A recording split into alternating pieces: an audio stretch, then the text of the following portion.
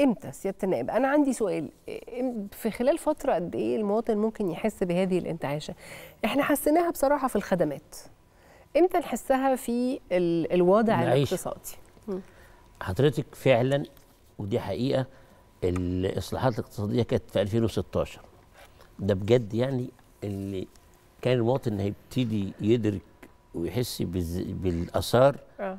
في بداية 20 19 و20 ده مؤكد.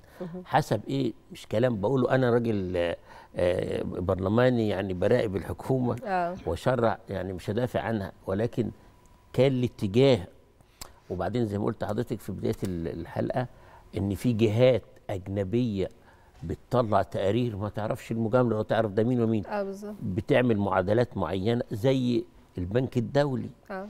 وصندوق النقد الدولي. كل تقريرهم على اقتصادنا اللي كان ماشي على الطريق الصح. يعني لولا كورونا كان المفروض ده إنه في مؤكد. 2019 ده مؤكد. لولا كورونا. فعلا مم.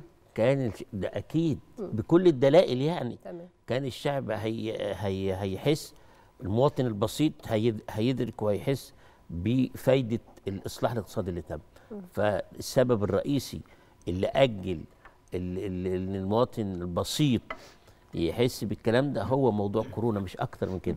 فعشان كده الحمد لله دلوقتي ابتدت الأرقام تاني وترتيبنا الجديد يرجع ونكمل ون ون ويحس بقى. المواطن يحس بإيه؟ آه. ما هو قيمة الجنيه تبقى ثابتة ما فيش تضخم. يعني الأسعار ثبات الأسعار تبقى ثابتة وبيحصل. زيادات سنوية في الرواتب. حلو. يبقى زيادة رات- راتب ما فيش زيادة في أسعار السلع حلو. في التضخم. فيبص يلاقي الدخل اللي جاي له بيقضيه ويفيد. شوية ادخار. ده هيحصل بجد هيحصل في المراحل القادمة على مؤشرات ال- اللي موجودة سواء من الداخل أو من الخارج مؤشرات من جهات أجنبية معتمدة ما تعرفش المجاملات بتأكد. كده